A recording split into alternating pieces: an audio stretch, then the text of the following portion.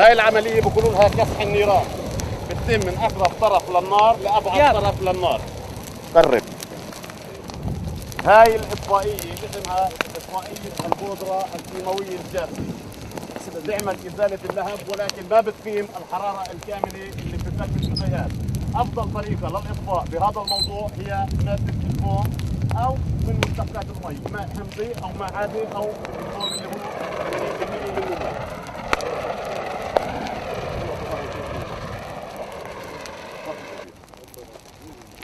هسه إذا بنلاحظ بعد فترة بسيطة بيعاد بصير إعادة لهب هسه إحنا على أساس نكون إحنا جاهزين بتم الإصفاء بجهاز ثاني نوع ثاني من المواد.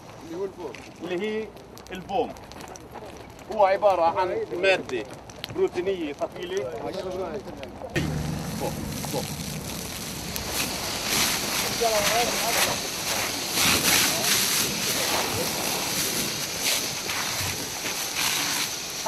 هذا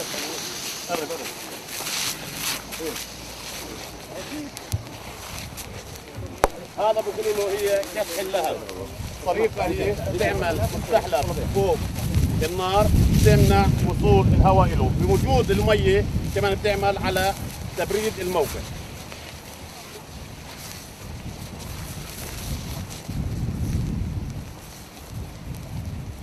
اليوم إحنا بنقوم بنشاط مميز آه، بالتعاون مع الإخوان آه، في الدفاع المدني وهي العامل للبترول آه، بتدريب عمال شركة ميجا للمحروقات على عملية الإطفاء الحرائق الصلبة والحرائق السائلة.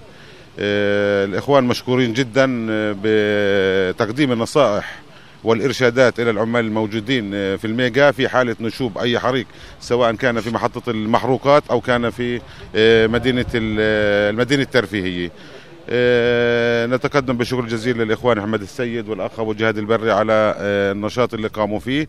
وإن شاء الله بتكون هاي النشاطات موجودة في أماكن أخرى لمعرفة السكان كيف آه، استعمال ال- آه، أجهزة الإطفاء وإطفاء الحرائق. في البداية كانت جولة كشفية في وجود الهيئة العامة للبترول والشركة الموزعة للمعدات الإطفاء والسلامة العامة.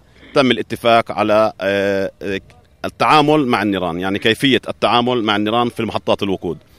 هي آه، استكمال لبرامجنا التدريبية اللي طبعا آه، سيادة اللواء أحمد آه، رزق أبو ربيع كان على اطلاع على الموضوع وهو اللي أعطى القرارات بتشييك على جميع ال- المواقع اللي فيها خطورة وإعطاء الأوامر لتدريب جميع طواقم هاي المناطق على أساس أنهم يعرف يتصرف كيفية التصرف السليم أثناء الحدث. استكمال اللي كنا عملناه إحنا والإخوان في الدفاع المدني. نعم.